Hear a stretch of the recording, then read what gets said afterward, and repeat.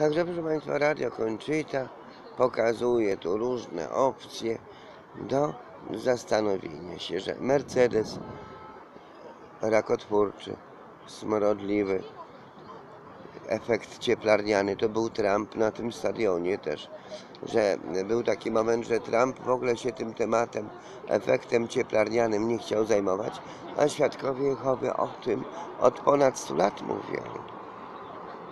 I co? I okazało się, że długo nie pociągnie. Mówią, że do roku 50, ale oni naciągają, to jest nieprawda.